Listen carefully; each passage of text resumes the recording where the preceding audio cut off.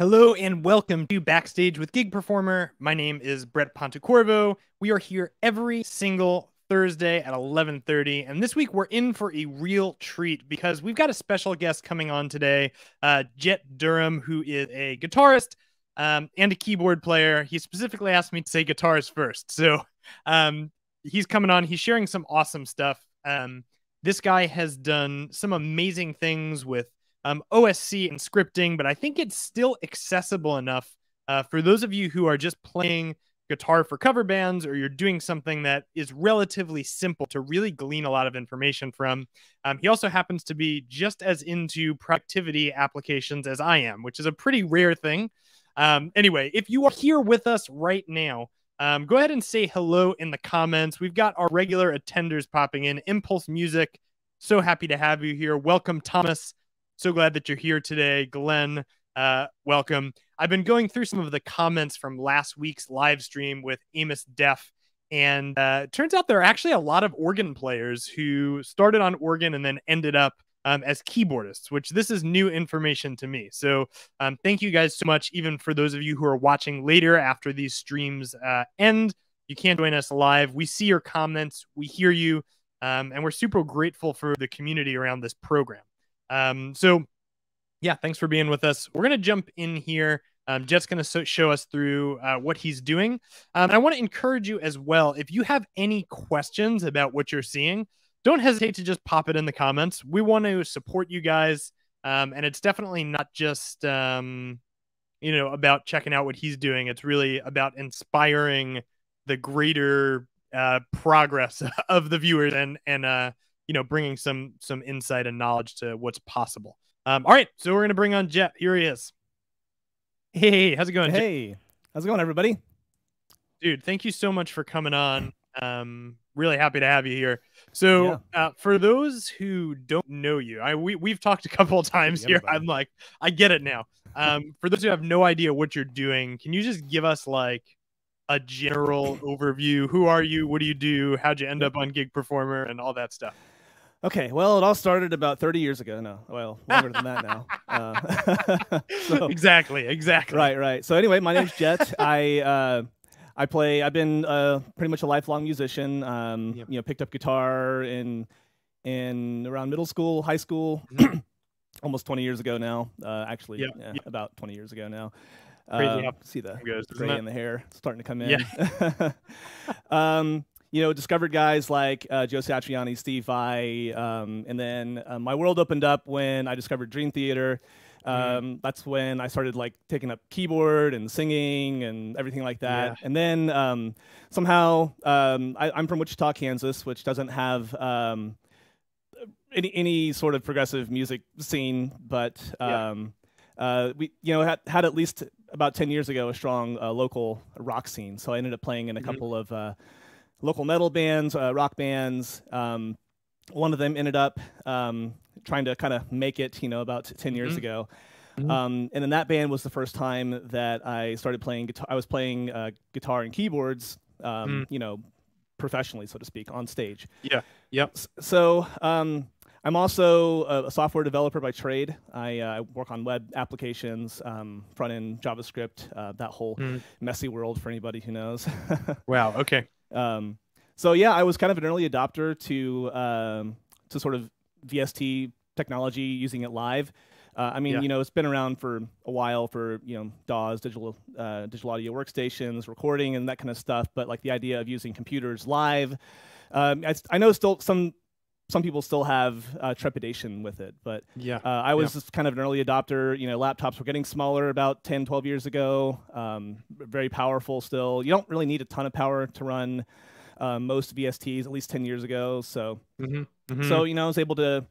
Um, w- what it really was driven by was just sort of uh, a couple of ideas, um, an idea of modularity, so that I can have my controllers all independent and separate, and then just wire them together with MIDI or USB.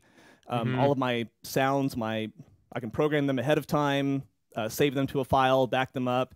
You know, mm-hmm. these things are possible with like workstations, but um, you know, you know, for me, it's uh, part of it also was cost. You know, big mm-hmm. workstations mm-hmm. are expensive, especially when you start getting into the business of having backups. So, mm-hmm. um, did you have a, a, particular piece of hardware that made you wish everything was in your computer?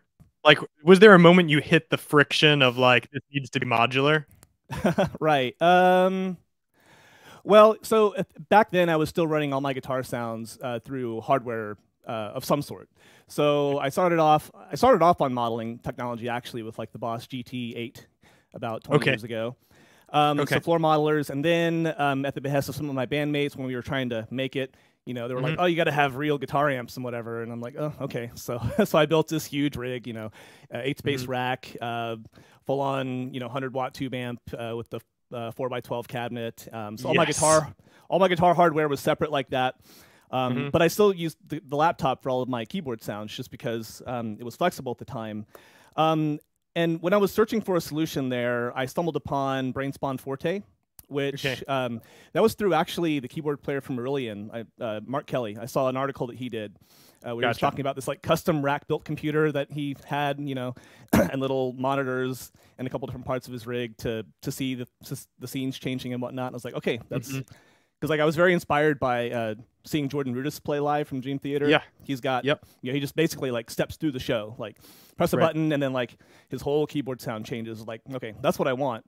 Yeah, I've always had uh, I've always had very little appetite for tap dancing, you know, with, right. with large pedal boards and whatnot. So that's kind of what drew me yeah. to floor modelers with the guitar, and then through the keyboard, same idea. Yes. Yeah, absolutely. So with with the like giant cabinets and everything, like do you miss them at all or are you happy to not have to deal with them? No. yeah. I do not miss them.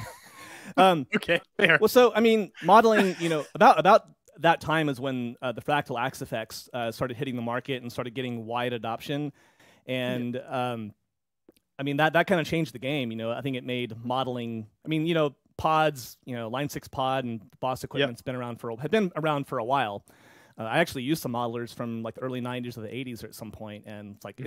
it's it's okay, you know, like it, for yeah. a live situation. Like, I mean, everything's trade offs at this point, right? Like, right, sure. Um, and I'd probably be fine with that trade off, you know, in the 80s or mm-hmm. so. But uh, right. I mean, now there's almost no trade off in terms of the quality of the guitar sounds because yeah, the the hardware the, the the hardware modelers are really good, and most of them have a, a corresponding you know VST plugin that you can just drop in a DAW or or Gig Performer. Yeah. yep. Yeah, absolutely. So wh- this is uh, this is we didn't prep for this question, but I'm just curious. Did you have a high school band? Like, did you play in high school or no? Uh, I, I played in the in the high school band. I played flute. Yeah. Actually, was my uh, my introduction into music. There you um, go. There you go. But I didn't have like a garage band in, in high okay, school. Okay, yeah. I was just wondering. I was like, you know. Anyway, mm-hmm. um, okay. So that's that's a great overview. I didn't know you were on the front end of web developing. For some reason, I like pictured you like designing. Anyway, that's uh, awesome. I I do a little bit of everything these days. Right. So. Right. Of course. Yeah. Mm-hmm. It's it's a necessary skill. Okay. Right. So, um, Jett, can you give us like the overview? Can I share your screen and then we'll like okay, yeah, show sure. us what you're doing? Are you did we miss anything leading up to this? Uh, well, yeah. We, I mean, we didn't really talk about like the gap I had in my music, and then getting into yeah. Okay. Yeah. Let's, so let's go over that too, because that is relevant with right. yeah. Stuff. Yeah. Because yeah. um, because I, I, think I understand that Brainspawn Forte is discontinued now. It uh, is, which, which we had um, who came on recently, who also went from Forte to Gig Performer for similar reasons. Just right. he was like, well, it's not supported anymore. It doesn't anyway. Right. So, so you were using that. Go go ahead. Yeah. So anyway, so that band didn't make it. It turns out. Yeah. so yeah. Uh, you know, it happens. It's just really hard to get out of the Midwest. Everything's so spread apart. You know. Sure. Um, sure.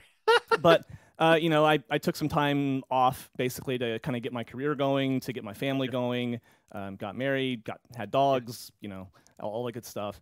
Uh, and then, you know, about five or six years ago now, uh, the drummer from my old band reached out to me kind of out of the blue. We remained friends, but he mm-hmm. reached out out of the blue and said, "Hey, you, you want to join a, a, local metal cover band?" And I was like, "Okay." yeah. like, Great.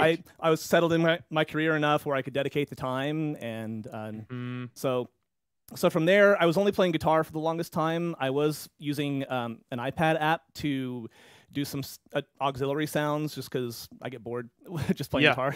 so, sure, sure, sure. Um, um, but then and then I joined the classic rock band about a year ago. Um, and then I was I'd always had in the back of my mind like when I discovered MainStage i you know mm-hmm. keep up on the mm-hmm. audio news even though i wasn't really like doing anything with it uh, sure. I discovered MainStage, and I was like, okay, if I ever play keyboards live again, I'm going to use that, you know. So, yeah.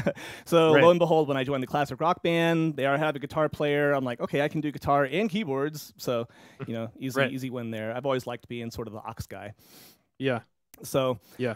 Uh, so I, I fired up MainStage, and then from there, like it made sense. Okay, like I have a, a floor modeler at the time for my guitar, and and then using MainStage for my keyboards, it's like you know I could probably just spend a little bit of extra, more extra money and time to like get everything uh, all together. You know, to get my guitar running through the computer as well. Right. Mm-hmm. Yes. So. And were you so? Were, was there a time where you were using MainStage to process both?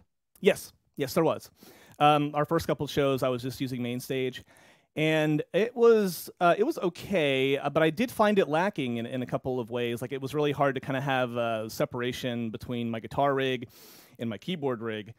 And right. I, I, don't know. I've always kind of had this idea of like how things should be separate. Like my, my brain works in a, in a certain mm-hmm. way, mm-hmm. and then like having mm-hmm. to map that into whatever software I'm using, you know, can be a mm-hmm. challenge mm-hmm. sometimes because it doesn't support that. You know, it doesn't support having like two banks of songs or something like that, unless you wanted to run right. two instances. But I had some stability issues and bugs with the one instance, so I wasn't really confident in running trying to run two instances of MainStage with different rig files or whatever.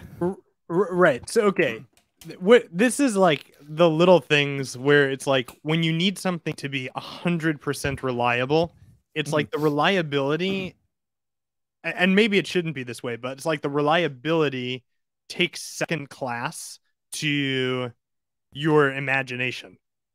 Right? So like you're yeah. you're like envisioning a world in which like you can run everything through your computer and you're like, but I also want to have two instances. I want it to, you know, whatever, do all of these things. Right. And then you're like, hmm, something's yeah. not working here.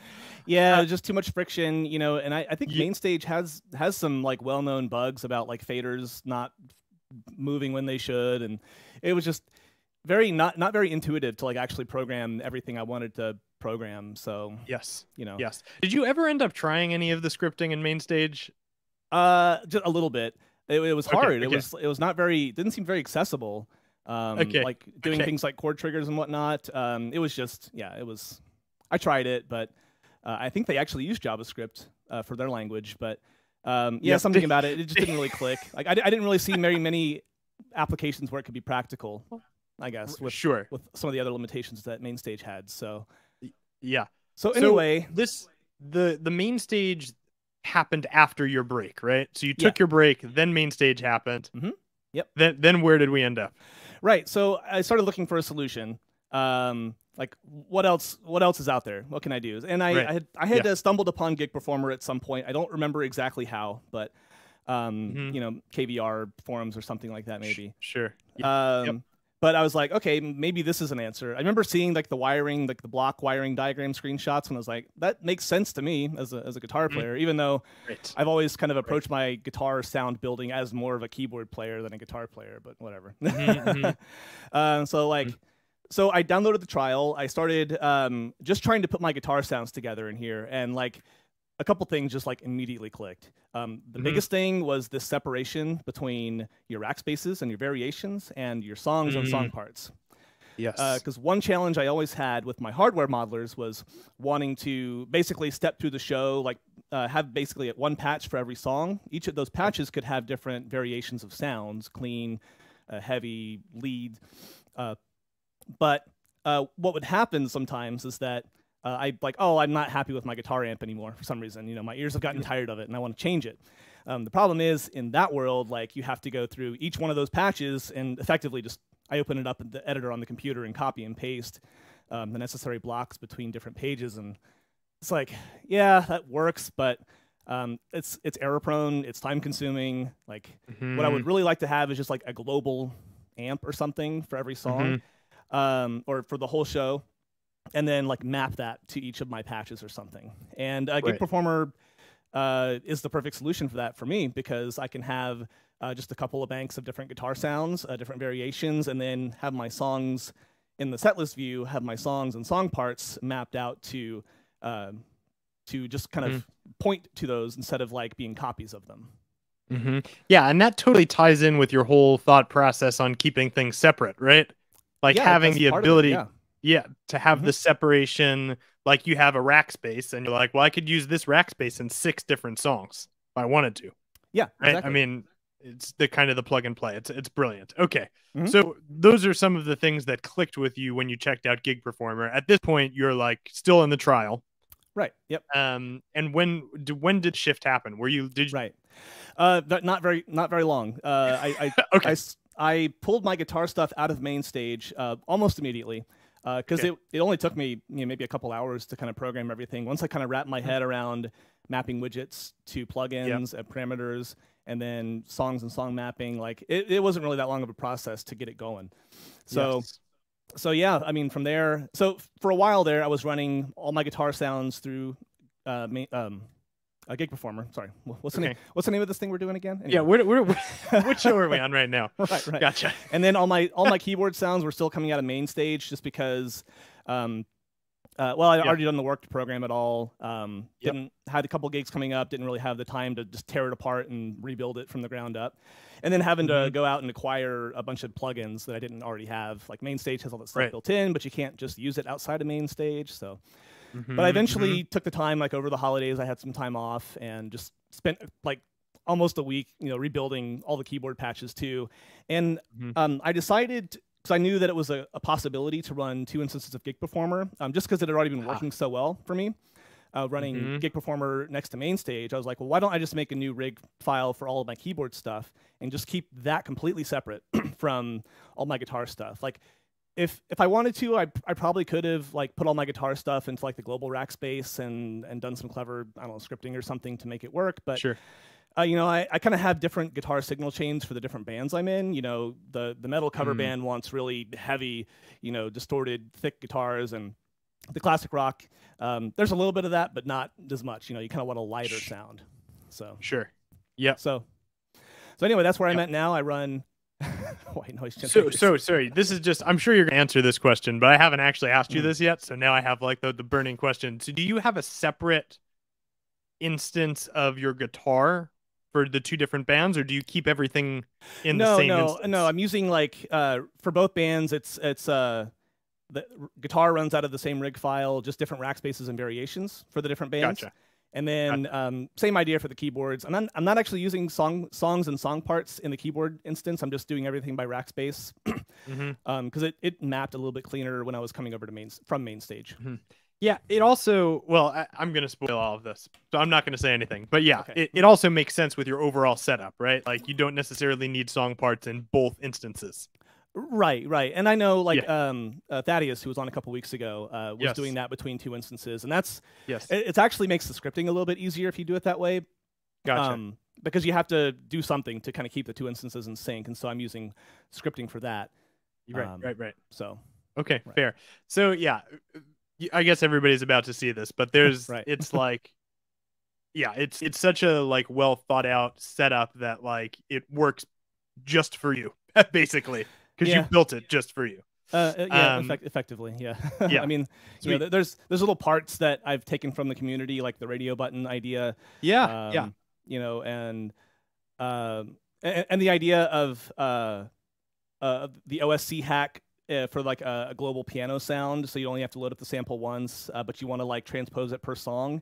I saw a blog post that on on Gig Performer somewhere that where like you use OSC to uh, where you have the the key the the piano block in the global rack space, and then you're using OSC from rack spaces Aha. and variations, um, and that gives you the flexibility to transpose the piano per song or per rack space. Yes, David David wrote that blog, I think. Okay. Cool. Um. Anyway, I could be wrong. I'm pretty sure that was him. Da- Da- David's waving. Um. Sweet. Do you um? Should we jump in? Should we? I, yeah, I think we- so. I think I've I think I've talked and- long enough. People want to see And it, it's good. We got the overview. Okay, so I'm gonna share your screen. Okay. Cool. I'm pick up Um. this thing. Here we go. Okay, cool. So we can see the two instances here. Um, So I'm in uh, Rackspace view for or panels view for the guitar instance. This is kind of like the the the main rig, the primary rig that has all the songs and song parts programmed in, um, but also does all my Mhm. guitar processing. Um, so, and I think that people should be able to hear. So anyway, this is my uh, my Fastlane setup. Um, I, I do want to go through my hardware too at some point. Uh, yes. Yeah. Yeah. Um, just to kind of yeah, give a whenever. uh, yeah. Whenever it makes sense, go for it for sure. Yeah, for sure. Okay. Cool. Okay. Um, so I have basically you know two rack spaces for Fastlane, uh, or one rack space for Fastlane, one rack space for Gods of Wrath. Um, I'm loading it up here. This one, I have some performance issues. I'm, I'm trying to track down. This is a lot of widgets going on in here, so yes, might be yeah. related to that. There's a lot of plugins. Um, I'm using a lot of pl- I'm like using three different copies of my guitar plugin to work around the latency issue. but, okay. Well, you're uh, saying loading, right? It's the load the the loading time. Is that what you you mean? Of switching to the rack space, yeah. There's a, yeah, a tiny gotcha. there's a tiny amount of latency too in um, switching variations, but so I'm on M1. Um, it's you know it's it's a the lowest spec yeah, MacBook sure. Air. It's it's still plenty fast for most things. So um, yeah. You know, it I could be using the wrong plugin type, you know, audio unit sure, instead sure. of VST or something. Um, I don't know. I, I, just need to like tear it down and rebuild it from the ground up. I just haven't had time yet. yep, for sure. Yep. Um, right. So, so anyway, so two completely separate signal chains for the two different bands. Mm-hmm. Yep. Mm-hmm. Um, so looking at the wiring view, I'll just do like a quick overview of this. I think this yeah. is probably out, of, out of all the things I have in my setup, this is probably the least interesting. okay, fair, like sure. what what actual guitar effects I'm using. So, mm-hmm. um, so here's where the guitar gets split to the to the three different amps basically. Um, gotcha. But I'm running a, a, Helix native plugin in front just to kind of give me sort of the pedal board type of thing for. Oh, I need to authorize Helix native apparently, so that's good. I can't show that today. Um, yep. But that gives me things like uh, and Helix native was an obvious choice for me because uh, I was already using Helix hardware. So mm-hmm. um, and this is the uh, this top panel is where all the widgets there are mapped. So I'm running a couple pitch shifters for different kind of effects, uh, mm-hmm. wah, whammy. Um, I think it's my master guitar volume is there too. So, so gotcha. this is my my hardware uh, pedal board. I have an expression pedal just to move that, and it's mapped to three different parameters there because that was like the only way I could do it. yep. in, uh, sure. Sure. Sure. So, um, okay. So sweet for my actual guitar sound, I'm using the the Archetype Petrucci plugin. Um, so three different instances: one for clean, one for rhythm, and one for heavy, uh, or one for lead. Uh, and then you know just a couple of different parameters for those amps as well. So it's kind of broken out mm-hmm. here: clean amp, rhythm amp, lead amp. Um, mm-hmm. you know, we, we don't have to go into super deep detail there, otherwise we we wouldn't get to anything else. sure. So one thing to mention too, if for and I guess this is helpful for you, but also for anybody who's watching, if if you're having like if you have a s- super large amount of variations and you're finding that switching takes some time, if you break it out into separate rack spaces, it, it eliminates the latency completely. So anyway, yeah. there's pro pro tip while you're here. Um, right. Just, well, and um, yeah. will will snapshots fix that problem too? I don't know. Should I bring David on to answer that question? Are you there? yeah. yeah. See, how's it, how's it going, David? I'm I've enjoying this. Um, yeah, great. Uh, I love it. Jeff, good to good to meet you. Likewise. Um, yeah, I'm a, I'm a big fan. Uh, thank you, thank you, thank you very much. Um, yeah, um, all the reasons you're bringing up are why I gave up on MainStage as well. Mm-hmm. Uh, yep. done what I needed, we wouldn't have bothered to invent this. Right. And yes, I refuse to use JavaScript. I don't blame you. It's very polarizing. Uh, you know, if if we had a better option on the web, uh, we would probably use it. web WebAssembly will save us someday. Oh God. Or not, or not. I don't know. uh, yeah, I yeah. Uh, David this, loves web design. It's his favorite. I, I am useless at it. I'm desperate for people who can do web design. Well, my ability to do graphics. Well, let me put it this way: I am very good at drawing crooked lines with a ruler. Yeah. I'm serious. I can't. You know, uh, I, my drawing skills and my visual abilities with color and stuff are terrible. Not you do not want me designing yeah. your GUI. Right, right. That's that's that's what my wife that's what my wife does, uh, or one of her skill sets is graphic design. So I leave I leave all that to her. All we'll the interior decorating. Anyway, what was the question again? okay, so we're talking about how Gig Performer divides resources. So you were saying like if things were in rack spaces rather than variation, then switching would would create no latency. Yeah, well, switching when you when you do it that way, I mean, you can you can be playing a chord uh, and continue moving and and switch right in the middle of playing it, and it'll just keep going. Right. Uh, Mm-hmm. you, know? Mhm. Uh, you can play a power chord, uh, uh, you know, on a guitar, a switch, and it's just instantly playing the new sound. There's no delay. Right. Uh-huh. Um, So but the it's- trade-off is you have to have another rack space. Right. It's So, so uh, and you know, for people coming from Forte, which I never used, I. I heard of it, but I didn't oh, it's really been a long time for me. Pardon? Oh, I was I was just saying it's been a long time for me. I, I don't know that I'll be able to provide any specifics. Well, no, no, no. But but the the model was just I think you had all your plugins and then you could turn them on and off Oh, you're right. and bypass them, but you didn't have this notion where we can just do this instant switching from one topology to a completely different one Sure. on the fly, and that Mhm. buys you a lot of benefit. Um, you know, but the variations was intended really as a as a more general version of what Mainstage did with aliases. Okay. Oh, okay. Mm-hmm. That makes That, sense. that's where I was coming from. You know, you could have an alias, but that only lets you control, I think, volume and pan. Maybe you couldn't. And I wanted just to be able to control anything you wanted and still be mm-hmm. able to switch quickly. And that mm-hmm. was the idea behind variations. Anyway, so so what was your question again? okay. right. So so if I were so a lot of these variations are from a time before I realized that snapshots were a thing, like uh, per song snapshots. yes. So you're saying that if I just cut out most of these variations, which I can because they're just song specific, um, then my performance problem will be better. Well, yeah, okay.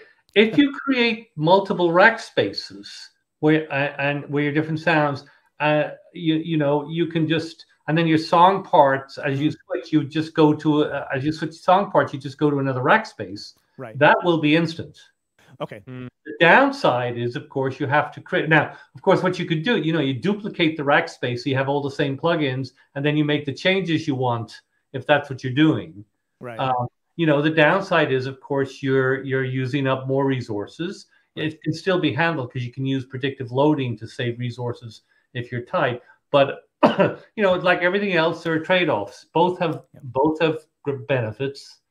Um, the snap, yeah, the snapshot is on top of variations right. right? And you know, so that's a little bit different. I mean, that that's just a way.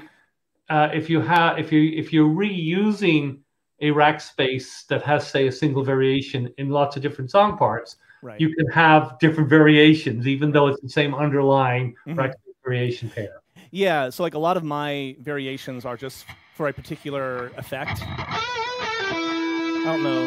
Um, yeah, my Helix thing isn't working uh, because I need to authorize it. But um, it's like that's Yeah. just like this is one pitch shift, and then this this adds in the next pitch shift, for example, or or changes the pitch shift parameters. I think. Yeah. Right. So I feel like that could be handled with, but it's only used for one song part. So I could probably handle that with a variation or a snapshot instead. Well, well, yeah. If, well, yes. If you use snapshots and you just keep, leave, you just keep the single variation. It saves you having to create lots of rack space variations. Right. Yeah. Mhm. Exactly. Yeah. yeah. Um, that that's that's the big benefit of uh, using song parts and snapshots. By the way, Mhm. one thing I started doing, and this might be a useful tip for everyone. Um, you know, when you create a snapshot, uh, I often want to push it back to the rack space, uh, which you can do. Yeah, uh, you, can save, and then there's a there's a you can double the the three dots. The, you'll see if you go to the three dots over in the left. Yeah, there. There's a thing where you can say push song changes back to rack space Okay. and that it's, it's yeah you have to have a you have to have a snapshot for that to be able. Okay. Um, and I often do that because I often have a one-to-one rack space um, with song parts for various reasons. And what I've started doing with system actions in my global rack space, I have a button that does that um, push that snapshot back, which I can, which just saves me having to pop up that menu. I can just like push the button on a MIDI controller and it saves saves the snapshot. Um, yes, and that's that's by default, David. System Actions has that available for everybody. uh, in 4.5. Yep. Okay. Well, that's great. Yeah, 4.5. That's Scratching your added. own that got that. Yeah, The stuff for capturing, pushing back. Uh, uh, yeah, it's very handy. Super cool. Awesome. Sweet. Well, David, thanks Cool. for talking about variations. I appreciate you shining some light. Yeah, right. yeah, that that's very helpful. I'll have to. Yeah, it's it's funny when we do these. I'm like, you never actually know what type of ridiculous insight you're gonna get. Um. Mm-hmm. Anyway, Okay. Yeah. You were so, talking about where were we? You were showing. Well, we were going through uh, signal chains. Um, gotcha. So I, was, I, showed you my Gods of Wrath rack space, which is huge yep. and needs to be trimmed yep. down apparently. so, um, so I'm using uh, one rack space for Fastlane too, though. Uh, actually, I am using another rack space that I switched to for clean sounds, and this this is uh, this is instant. This is uh, again mm-hmm. not working, so it's not getting through right, but. Mm-hmm. Um, uh, so this is just a couple different variations of the sound. So anyway, that's uh, mm-hmm. similar kind of deal here. Uh, some front effects with the Helix Native, Archetype Petrucci, a couple other effects afterward. Mm-hmm. Um, mm-hmm. Yeah, and it's all you know controlled by variations. So I, what I really want to dig into though is kind of what I'm doing in the global rack space. Yes. Or I can talk a little bit about too uh, the keyboard rack space because it's a separate deal. Yeah, um, sure. Uh, where, wherever you want to start, make is great. Okay. Yeah, I mean, y'all have a lot of keyboard players on anyway, so I don't think the world needs to, to hear any of the stuff I'm doing. You know. Yeah, um, sure um, but okay, but uh, one thing we should bear mentioning is that you do have your keyboard tilted towards the stage so yes. people can see what you're doing, which is kind yeah. of fun. Right. Um, yeah, I had this custom printed uh, uh, 3D bracket, uh, this 3D printed bracket that I that I designed um, to perfectly match the profile of the uh, of the keyboard. Um, that's uh-huh. that's one of the reasons I use such a a, a, cheap controller is that it's very light and yeah. um, it supports this configuration uh, very well. And yep. if I need, if it falls, I need to replace it. You know, it's no big deal. yeah. And I, I, don't really use a lot of controls on the keyboard. Like for me, it's just something else that can go wrong. So right. I try to I try to avoid that where I can. So um, I, I, wish that there were people making a nice. If anybody knows of any like uh, higher end like key, almost keyboard only controller with, with, like a pitch wheel and mod wheel, you know, something very slim down, but like that's nicer. Like I don't need necessarily anything something weighted or anything, but. Mm-hmm. Yeah. Uh, yeah, If anybody knows of anything, I would be uh, delighted yeah. to know about it. Put in the comments if you know, if you're into it. right, uh, right. Yeah. So um, the way that this works is that I have some scripting going on when I change songs, when I change song parts. Um, okay. You don't have to use scripting for this, but for for my brain, the behavior that I wanted was not easily supported in Gig Performer because what I want is that I want, as I'm changing through, as, I, as I'm stepping through the show, um, I want my keyboards to be muted unless I actually need them. you know, I, I don't gotcha. want, you know, we play on some small stages with like, and sometimes it's not even a stage. Sometimes it's just a corner, you know, and somebody sure. comes and like, you know, somebody drunk barrels into me right at the front of the stage. Um, I don't want them to like press the keyboard and, you know, make all sorts of noise that does, shouldn't be there. So yeah, absolutely. So anyway, the way that I have the scripting set up is that if I don't have something explicitly mapped to that song part, um, it switches to this uh, sort of global mute rack space and the keys side. But if I am using the keyboard for something like this, this song part is uh, uh, for all right now. It's uh, piano on the left hand and then some organ on the right.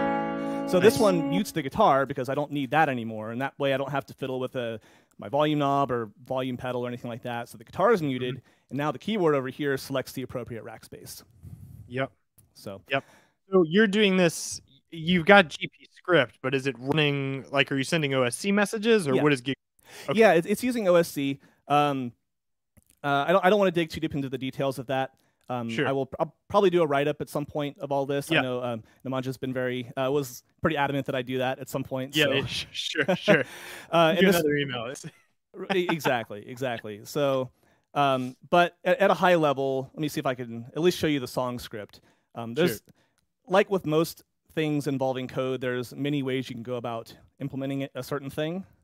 Mm-hmm. Um, so a lot of the like the heavy lifting is done through this feature that I just discovered called uh, includes, where you can have uh, code files that live somewhere else, and um, that way all my common like per song behavior can be implemented in a completely separate file. Yes, I, I won't yep. dig too deep into that, but what, what's really interesting is this part here where I have uh, a mapping of the name of the song here uh, maps to uh, a rack space on the keys side, and that's really I think all that you need to know.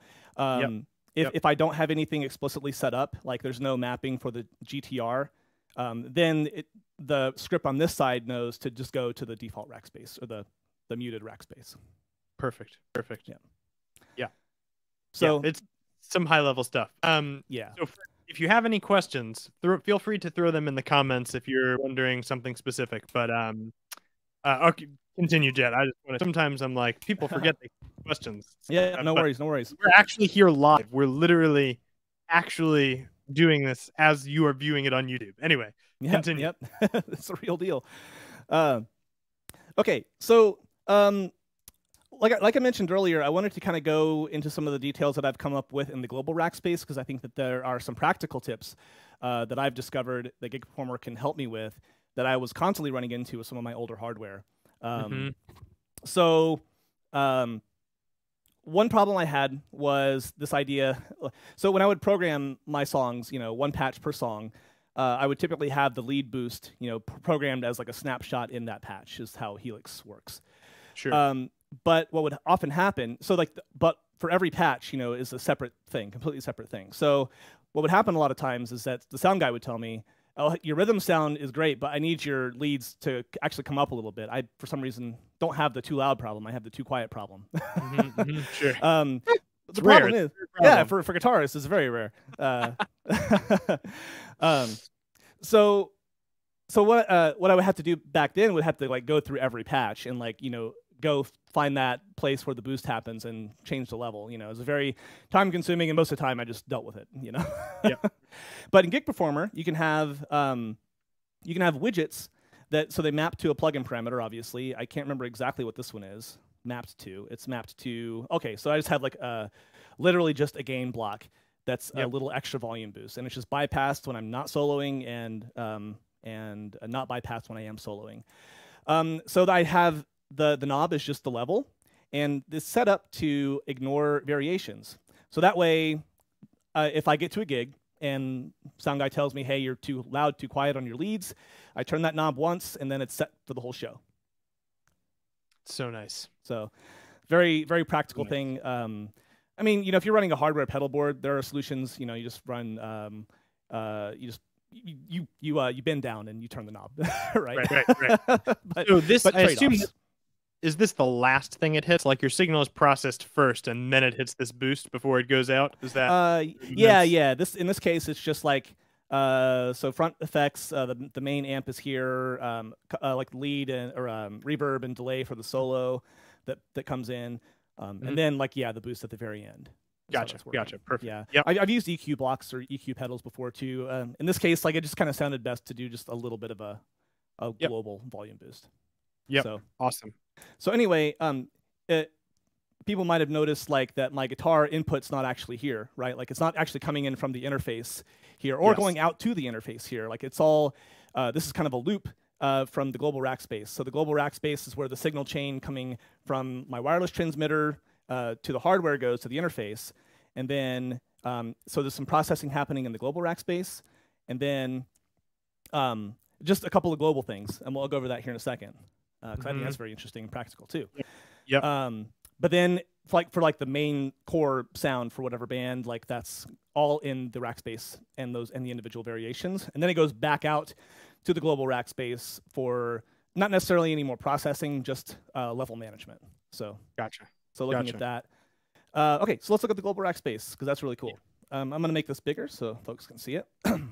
Okay, beautiful. so um, we'll, we'll go in order uh, of the wiring view. So Perfect.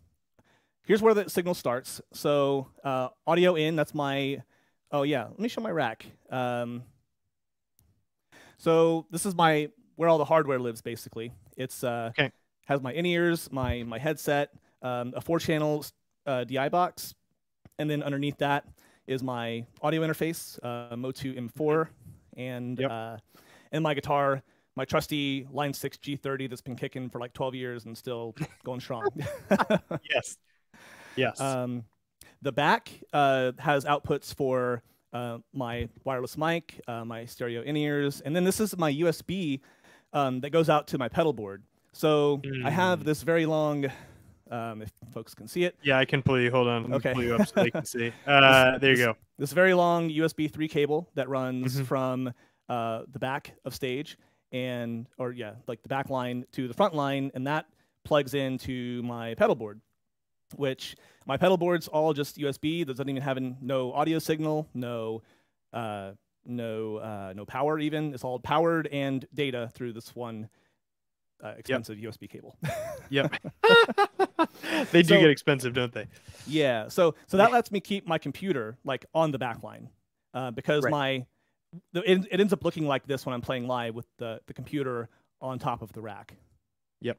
And then so just a couple of you know two USB Type C cables, one for power, one for data, because I have a USB uh, hub in the back here. You can kind of see it hiding out under here. Yep, I see it. Mm-hmm. Yeah, and there's a hard drive in there that has all my sounds and and everything. That way, if the if the computer theoretically dies, like I don't lose much. I still need to get some other backups and stuff though. sure. Yep. Yeah. Yep. So okay, so this is this is the the hardware behind the gig performer. Right. Yeah. So yep. and then on my on the floor, I've got a couple of options for control. So uh, my keyboard controller is just a very simple Nektar Impact uh, GX61. Uh, mm-hmm. Like I said, it's very simple, light, and cheap.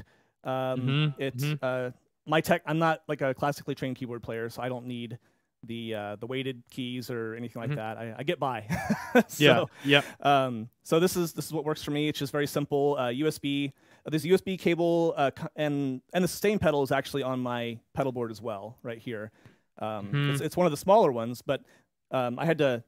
Uh, I made some compromises on the the expression pedal and the sustain pedal to make them fit on this uh, this uh, Temple board. So yep. It, and it all fits in very snugly under my keyboard rack. Uh, this is uh, using hey, that's a great picture. Yeah, using Gibraltar hardware for all that, just because it's insanely customizable. Um, yep. Uh, there's other trade-offs with it, but we won't go into that. sure, sure. Um, and then I run uh, two iPads, um, sort of hiding behind the keyboard. That's okay. what these arms are. Uh, so one, I'm using, uh, I'm running a program called OpenStage Control. Actually, it's through a web browser. Um, okay. Yep. That is sending OSC from my gig performer instances to um, to something that I can hook into with a web browser on an iPad and just see what I need to see. Um, yep. On you know without having to have the laptop right in front. Like that's kind of how gotcha. I solved that problem. Um, gotcha. The other the other iPad I use for like mixing my in ears and eventually some reference material. I'm still trying to find out a okay. good solution for that. okay.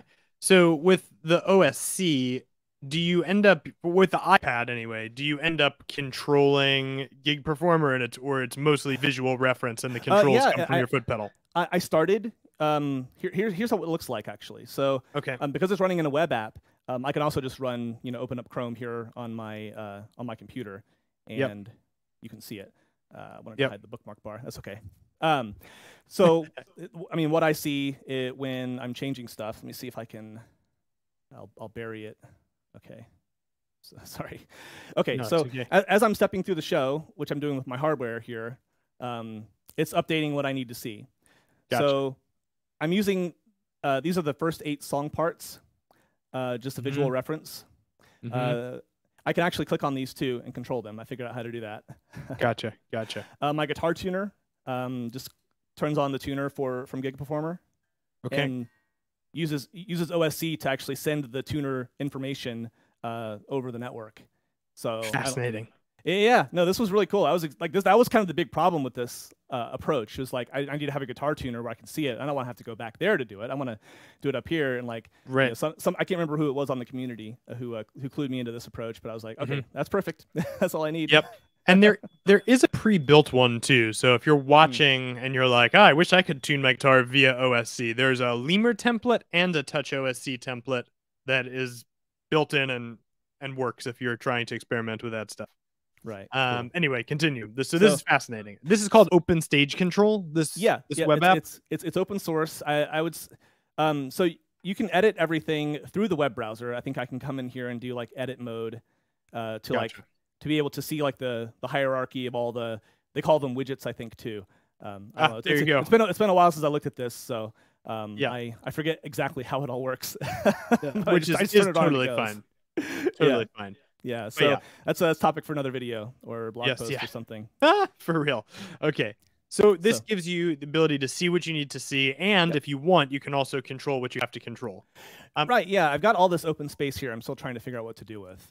uh, also, I feel like it bears mentioning, like you're using a Morningstar pedal, which, like by yeah. design, those are meant to be able to switch what it's sending internally. But you're yeah, not doing that. I'm I am criminally underutilizing this thing. right. But but Gig Performer, I, I feel like it's I I'm like trying to drive home my own agenda slightly here, so forgive me for this.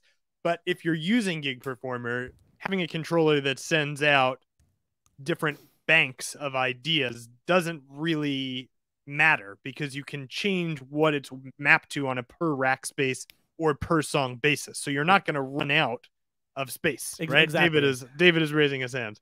hey, how's it going, David? Hi. Uh, I'm sorry if I can I ask you a question. Um, are you configuring your pedal controller so that like you switch banks and that sends different? No. No, no. Like it's it's literally just. Um, sorry, was that for me or for Brett? That was for you. I think that was for you. Okay, okay. No, no. Like so, the pedal. I'm just.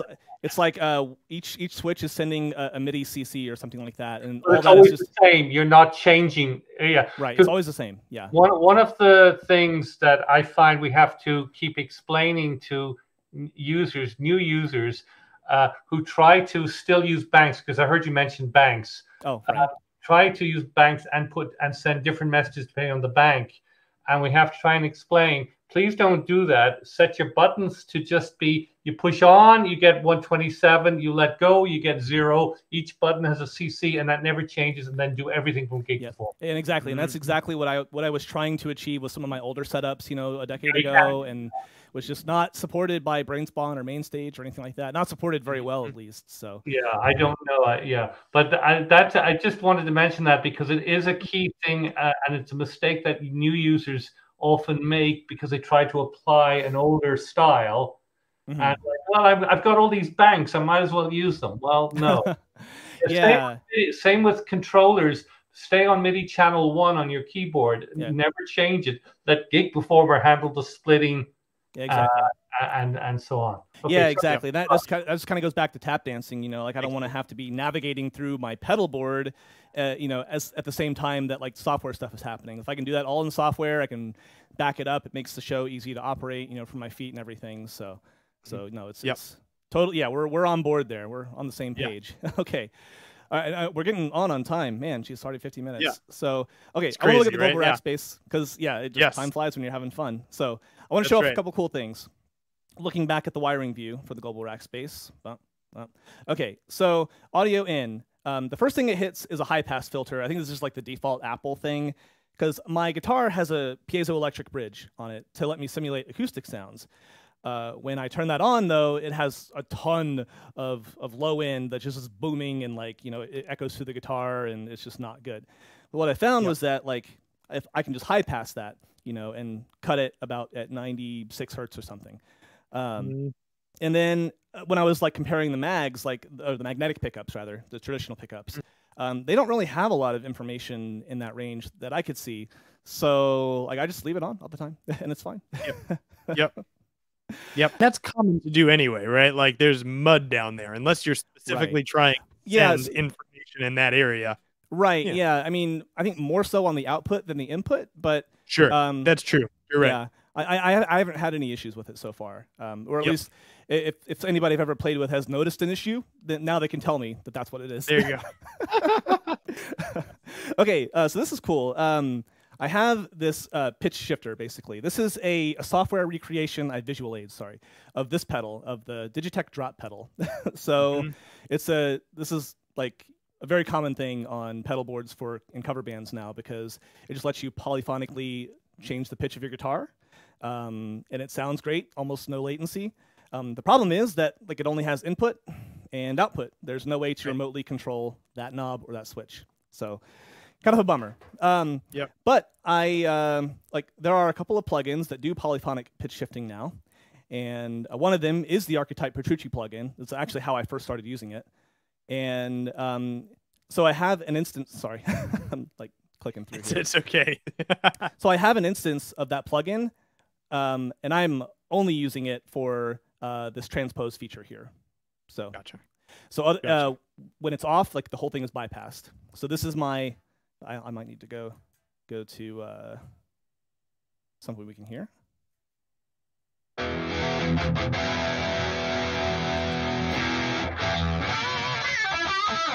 Uh, my lead effects aren't coming in. That's okay. Um, so when I turn this on and then turn the turn the knob.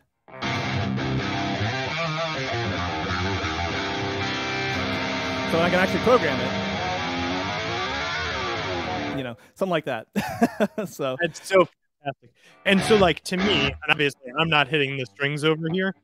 When I hear that, I, mean, I would have literally no way to know.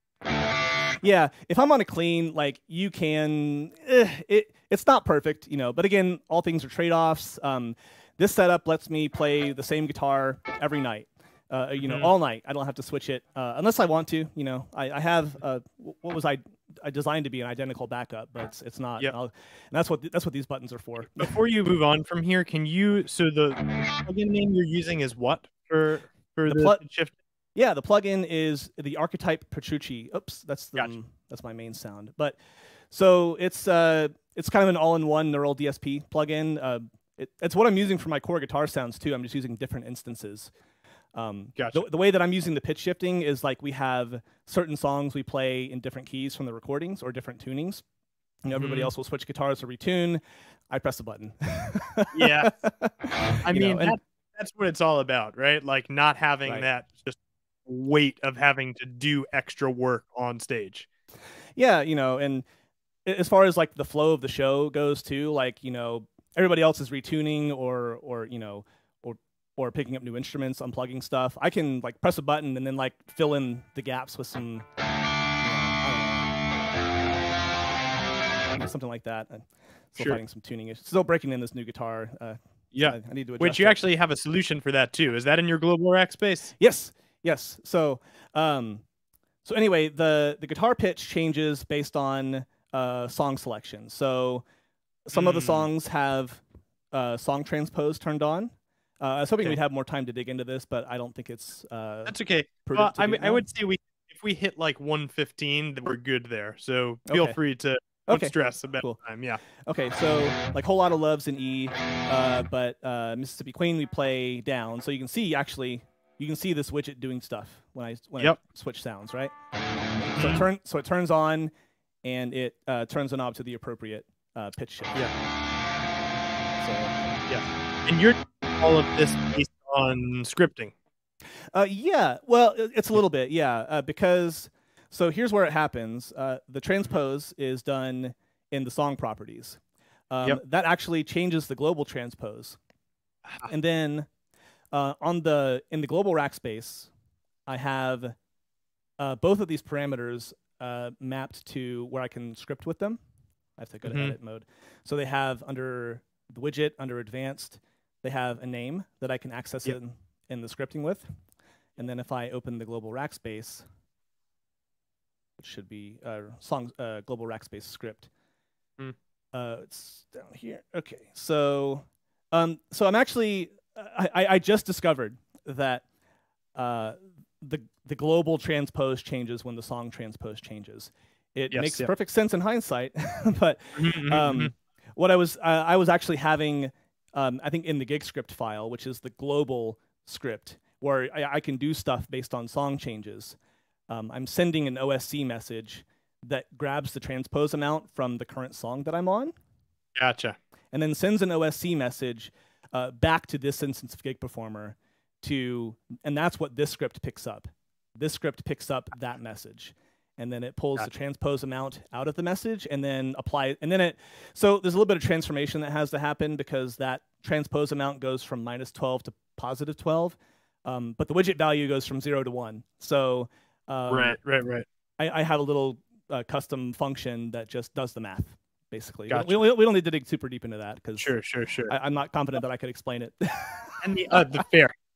And the other thing too is system actions would allow you to do some of this, which I I don't know if you looked at that at all. But uh, yeah, I yeah, point, right. And, and, I, so I'm yeah, I'm sure that uh, there are ways to do it without scripting. In, in the same way that there are ways to do like the song switching without scripting. You know, I just had a particular need to want to have well, the keyboards muted. You know, when I don't. And one of the we were talking about this earlier, right? Like one of the things that is special about gig performers, it has a lot less opinions than mm-hmm. other software.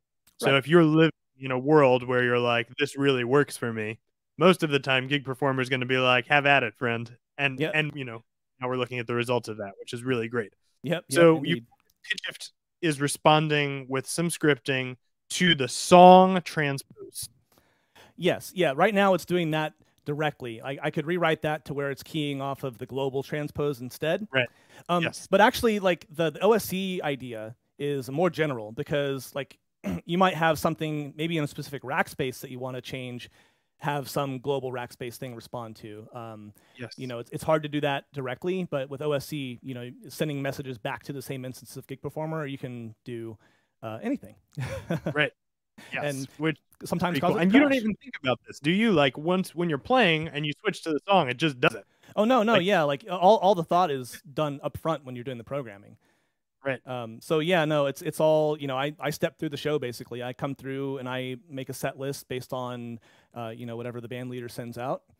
Yep. And um, just arrange the songs. I have um, you know the master song list obviously for each band. Mm-hmm. Um, and then uh, yeah, I just I just step through the show, you know, and it's it's uh, it usually goes off without a hitch. Mm-hmm, mm-hmm. Yeah. So, so, this and this okay. So you've got the global transpose, and then you've got what, what else do you have going on in your global rack space? Right, right. So so the next thing is it takes the guitar coming in and splits it um, four ways. It could be more ways, but right, I just I chose four because I have like four guitars. So yep. what I'm solving here is that okay? So I have um, this guitar, a very nice uh, Kiesel uh, Aries series. Um, I uh, it has you know a certain you know configuration that I've chosen. I have this one too. This I got I got this one first. Um, mm-hmm. So that's the green one. They're the same body wood. They're the same pickups. The same electronics. Um, only the only things that differ are like the neck wood and stuff like that. I was assuming that they would sound almost identical, and they do not. right. Yeah. Um, this one actually, for some reason, and I don't know, maybe they screwed the pickups up or something, but uh, I'm happy enough with it that I'm not going to like turn it back or return right, it or anything. But, um. You know, I've like I've tweaked all the things I can do on the hard, like, and it's just like this this one outputs at like minus 14 decibels, and that one outputs at like minus six. It's a lot hotter. So wow. So I was like, okay, well, I, I programmed everything with that one because I had that one for a longer time. So mm. like I'm thinking, okay, what can I do to kind of normalize my my guitar sounds for the different guitars that I have? Yeah. And hardware, I mean, there's again, there's always solutions. You know, you could have a, a boost pedal that you only turn on, or a guitar pedal that you only turn on when you change guitars. But then if you have like three guitars that all sound different, you know, you can't. What are you going to have right. a, a pedal for every guitar? I mean, maybe you know some maybe. people do, but kind of very that's, very big pedal board. Yeah, yeah, that's that's not me. so, Fair. so again, uh, software to the rescue. Um, yep. I have. Um, basically each one of these outputs it just, it just, splits the guitar signal coming in. It's stereo coming out of the pitch shift, although I don't really think it's doing any stereo effects. Um, and then it goes into, uh, so there's a signal chain, a separate sort of pre-processing signal chain for each of my guitars. Um, so my, my default one, the green Kiesel, um, the one that I programmed everything with, doesn't have any processing. It just goes straight through. Uh, mm-hmm. because, mm -hmm. again, I programmed everything with it. I don't need to make any adjustments. So that, that's mm-hmm. sort of the baseline. And then yes. from there, like, so these buttons here, so this is kind of using the radio button script idea um, yep. from the community. Uh, so this lets me pick which guitar I'm playing. So um, this is the blue K, the blue Kiesel. Yep. So I have a Strandberg back there and an Ibanez somewhere else that might come out to gigs sometimes. So um, So anyway, I picked this button, and what these buttons are doing is just turning on the, the solo switch for that mixer, for the input mixer here. So um, I didn't label them like I should have, but um, so that's the this is the channel for the blue Kiesel. So this is only letting output three and four through this uh, yep. part of the, the signal chain. And then mm -hmm. in order to correct the sound, here's what I did. I have a I have a plugin, an analyzer plugin from Waves. Yep. That will um, just kind of give me visuals. You know, kind of gives me the, the EQ curve. It kind of gives me the, uh, the audio out, uh, the sort of the peak level, and then mm-hmm. uh, I, I, did that with my baseline guitar. Um, got it set because because it'll uh, it'll stay set uh, when you when you do that, and then um, I took a screenshot and then plugged in my mm-hmm. new guitar or my my other guitar here, and then opened up this EQ block and just uh, tweaked it until uh, what I was getting in the analyzer matched the snapshot. I mean, of course, you still have to use your ears. Um, I sure had, had, to back some stuff off, but Um, this lets me get pretty dang close to having these two guitars enter the main signal processing chain at about the same levels and the same EQ curves. Yes. Wow. Okay. So this basically means, if I'm correct, when you switch guitars and you press the button, you're the only one who knows you switched guitars. Yeah, like no one else would audibly hear that. That's the idea. Yeah. Yeah. Yeah. Yeah. Yep. And and what benefit? So like I'm not a guitar player. What benefit do you get from having it having all of the guitars sound similar? Is it that your setup works with the different ones?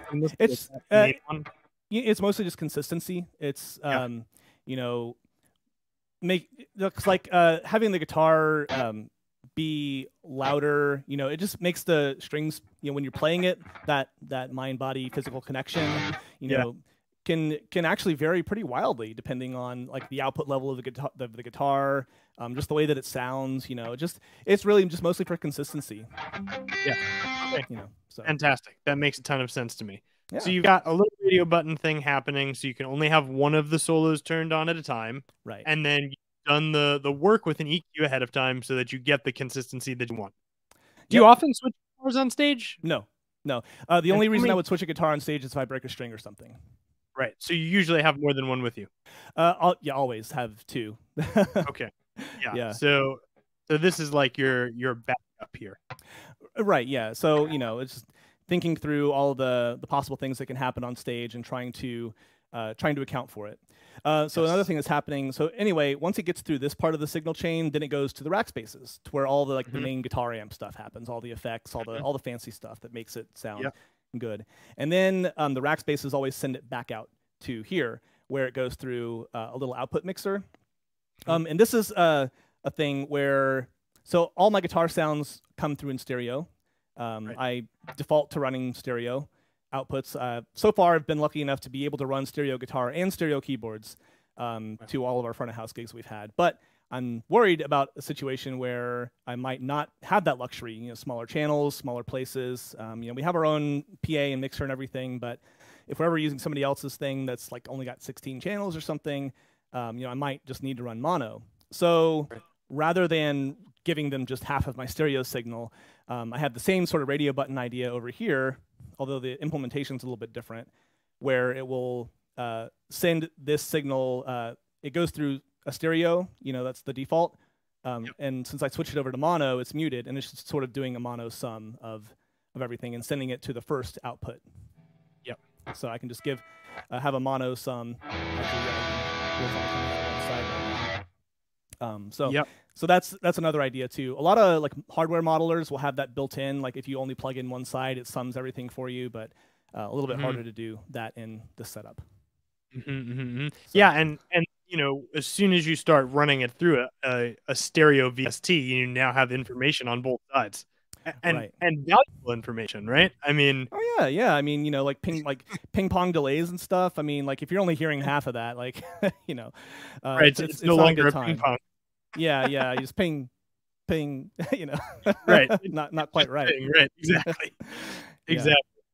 Um. So Glenn has some questions for you later oh. because he's not prepared right now. Um.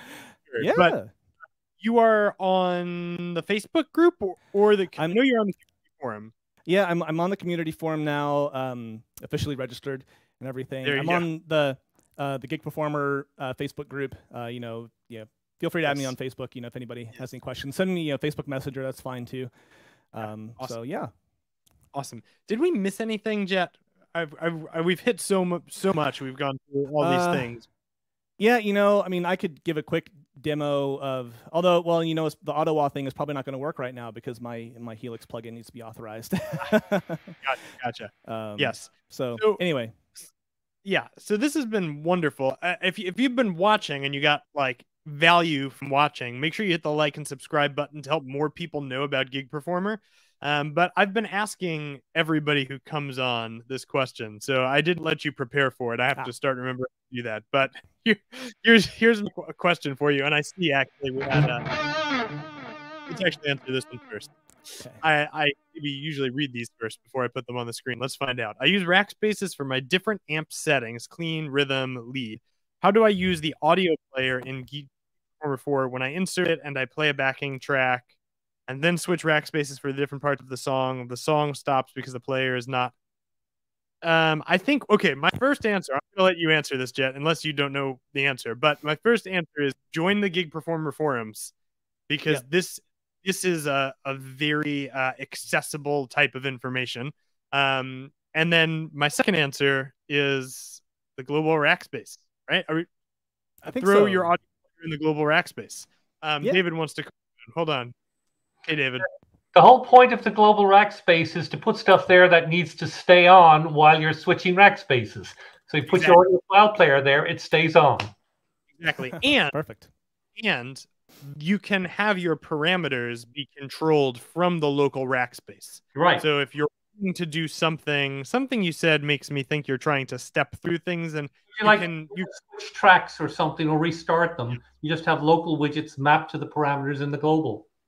Correct, correct. Which we have a video on that, and um, I will make sure that that gets linked um, to uh, the comments. But you can assign in the advanced tab a global parameter um, to anything that's in the global rack space, and then if there is a two system action, a two two global rack space block you then can map those widgets to those parameters, and that will give you um, what you need. So, Jordan, that is that is the uh, the tip of the day, I guess.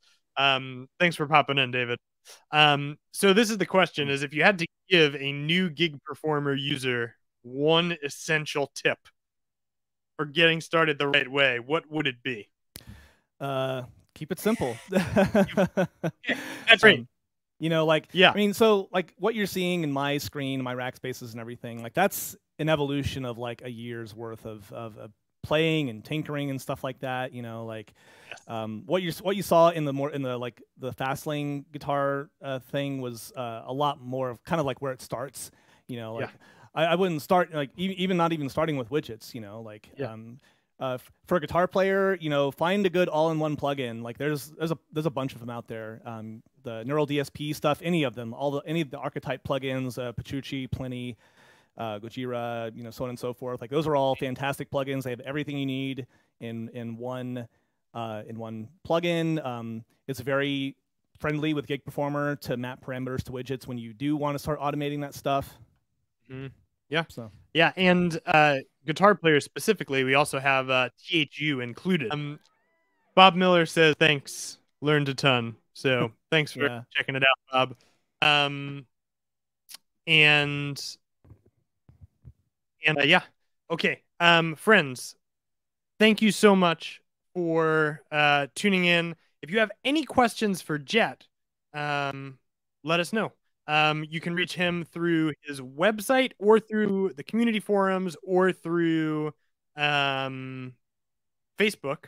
Yep. And if you want to check out his shows, we've got links to his social media as well as to his bands in the comments, so you yes. can meet him in person if you're in the Kansas City area. Um, Jett, thanks so much for popping on today. Okay, thank you guys. It's been a pleasure. Yeah. All right.